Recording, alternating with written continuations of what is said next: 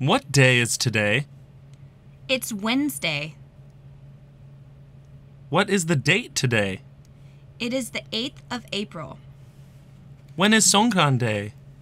The 13th of April. Oh, I didn't realize that Songkran Day is coming next week.